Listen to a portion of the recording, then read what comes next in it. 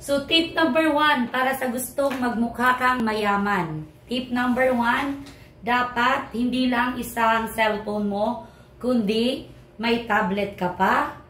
At tip number two, naka-shade ka lagi kahit nasa loob ka ng bahay. Tip number three, marami ka dapat na mga porcelas. Tip number four, dapat laging malaki ang bag. At tip number 5, dapat naka-heels.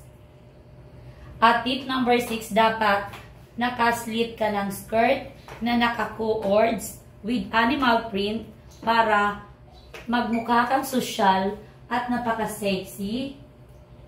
At dapat, ang pinaka-last, huwag kang magkipagkaibigan sa mga mahihirap. Yan ang dapat nyong kandaan para magmukha kayong sosyal at yayamanin. So, yan. Sundin nyo lang yan. Madali lang.